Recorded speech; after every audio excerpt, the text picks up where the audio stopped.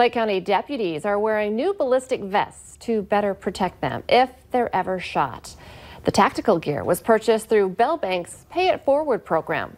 The gear was delivered last week and has been issued to Clay County patrol deputies.